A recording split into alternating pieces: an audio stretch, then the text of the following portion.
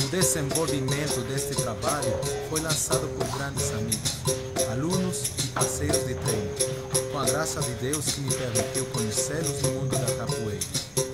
Hoje, sem dúvida, estou muito satisfeito com o resultado deste grande esforço.